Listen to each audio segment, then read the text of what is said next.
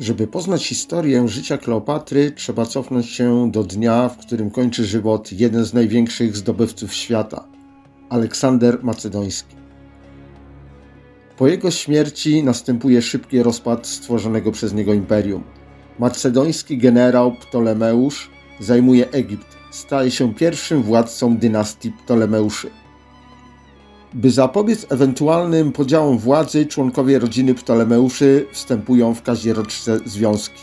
Od tej pory brat będzie żenił się z siostrą, ojciec z córką. Zabójstwa najbliższych członków rodziny w celu utrzymania władzy staną się w tej dynastii bardzo rozpowszechnione. Trucizna i sztylet będą zagrażały każdemu członkowi rodziny Ptolemeuszy. 254 lata po śmierci Aleksandra Macedońskiego w Aleksandrii na świat przychodzi Kleopatra. Kleopatra otrzymuje solidne greckie wychowanie i przygotowanie do rządzenia. Ojciec Kleopatry Ptolemeusz XII stracił władzę w Egipcie na rzecz swojej córki Berenike. Dzięki pożyczkom, interwencji i poparciu Rzymu odzyskał ponownie władzę w 55 roku przed naszą erą i zamordował Berenikę, własną córkę. Rzym upomni się o swój dług. Kleopatra w 51 roku przed naszą erą po śmierci ojca zasiada wraz z mężem w osobie swojego młodszego brata Ptolemeusza na tronie Egiptu. Młody Ptolemeusz XIII popada w zależność polityczną od własnych dostojników dworu. Eunucha Poteinosa, dowódcy armii Achillasa, którzy dążą do odsunięcia od władzy królowej. Kleopatra w 49 roku przed naszą erą musi opuścić kraj i udać się do Palestyny i Syrii w obawie o swoje życie. Młoda 21-letnia królowa rozpoczyna przygotowania armii do odbicia królestwa. Na wieść o tym stronnictwo króla zaczyna przygotowywać się do odparcia potencjalnego znajazdu, gromadząc siły w portowym mieście Pelusium. Tymczasem w Rzymie trwa wojna domowa. Pompejusz i Cezar walczą o dominację i władzę nad Wilczym Miastem.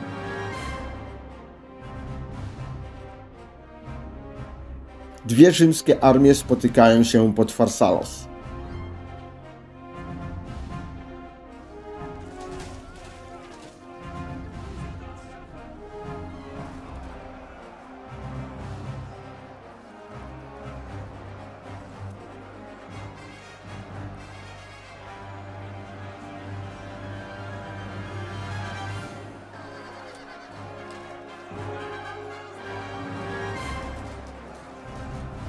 Cezar zwycięża.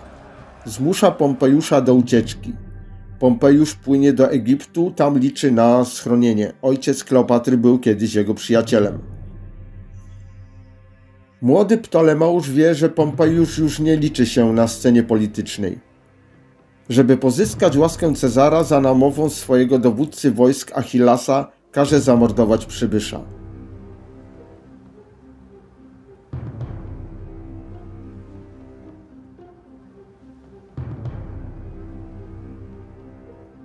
28 września 48 roku przed naszą erą wysiadający z łodzi Pompejusz na plaży w Pelusium zostaje zaszteletowany i ścięty.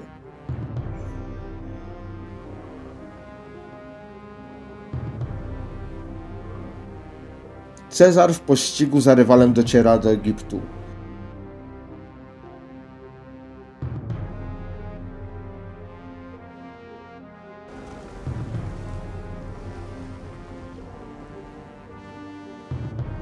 Rzymskie legiony wkraczają do Aleksandrii.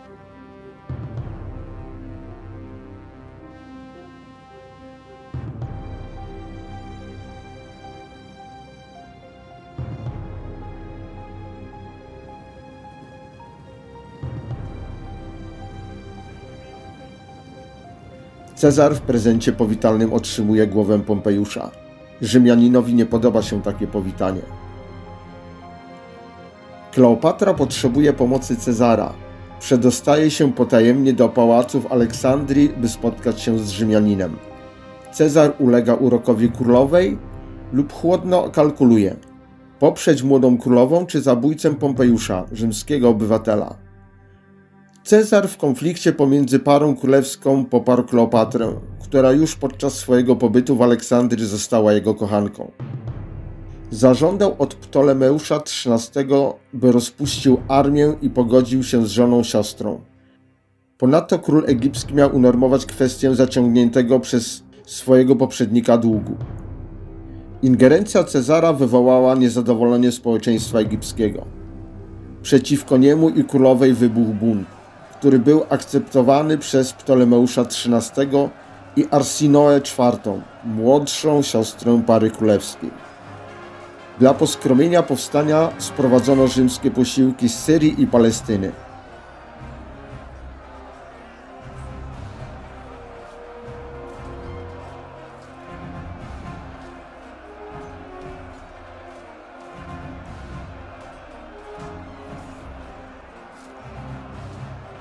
Ptolemeusz zginął wskutek walk w 47 roku przed naszą erą. Kleopatra poślubiła swojego przyrodniego brata Ptolemeusza XIV. Arsinoe trafia w niewolę. W 41 roku przed naszą erą Arsinoe zostaje zabita z rozkazu Marka Antoniusza. Cezar opuszcza Egipt, pozostawiając na tronie Kleopatrę. Po wyjeździe Cezara do Rzymu królowa rodzi mu syna, Cezariona.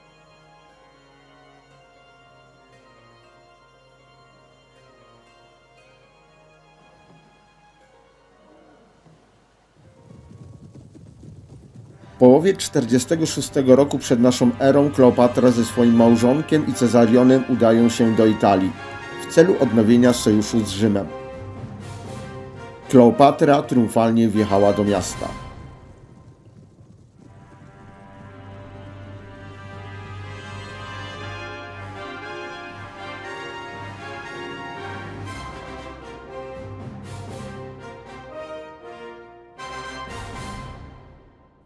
44 roku przed naszą erą w Idy Marcowe Cezar zostaje zamordowany.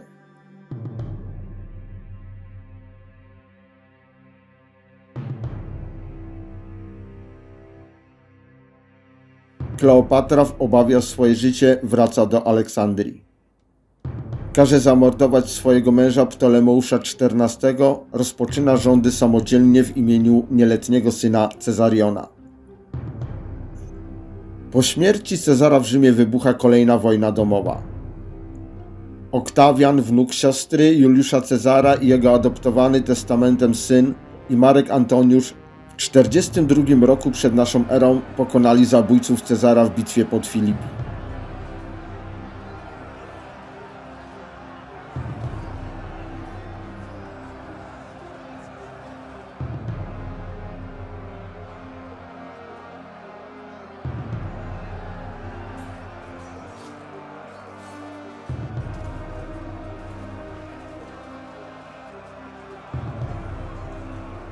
Nastaje pokój w Rzymie. W Brundisium doszło do podziału Imperium Rzymskiego. Oktawian dostaje prowincje zachodnie i Italię, Marek Antoniusz prowincje wschodnie, namiestnik Galii Lipidus Afrykę. Kleopatra mogła liczyć, że zwycięzcy wesprą pozycję jej syna w Egipcie. Antoniusz wezwał ją do Tarsus, gdzie trwały rozmowy w sprawie organizacji nowego porządku na wschodzie. W ich trakcie między wodzem rzymskim a królową egipską narodził się związek. Sojusz pomiędzy rezydującym w Antiochii Antoniuszem a przybywającym w Rzymie Oktawianem nie trwa długo.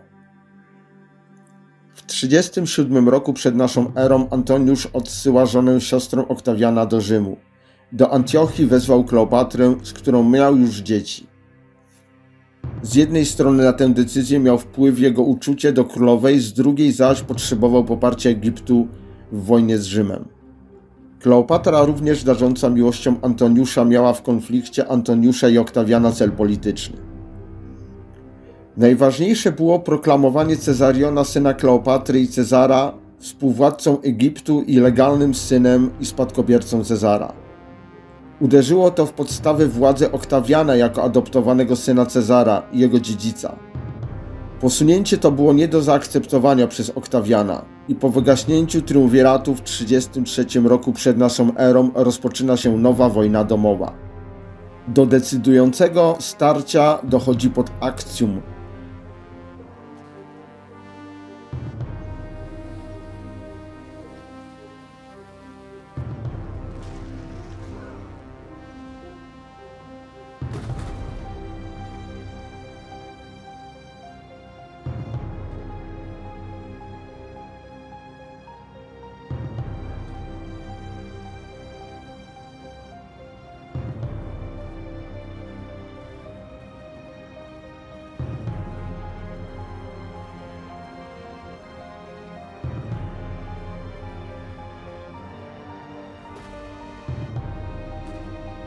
której floty Antoniusza i Kleopatry zostały zniszczone, a oni sami zmuszeni do ucieczki do Egiptu. W roku następnym Oktawian dokonał inwazji na Egipt.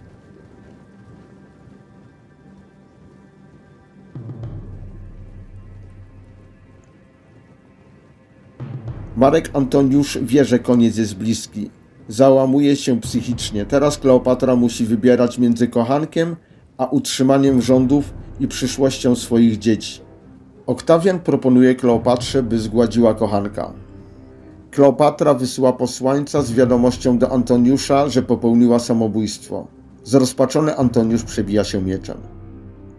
Kleopatra zaś podejmuje działania na rzecz zachowania niezależności królestwa i zapewnienie swoim dzieciom władzy. Pertraktacje z Oktawianem nie przyniosły jednak pomyślnych rezultatów. Obawiał się on politycznego wzmocnienia Cezariona i skupienia się wokół niego przeciwników rzymskiego panowania w Egipcie.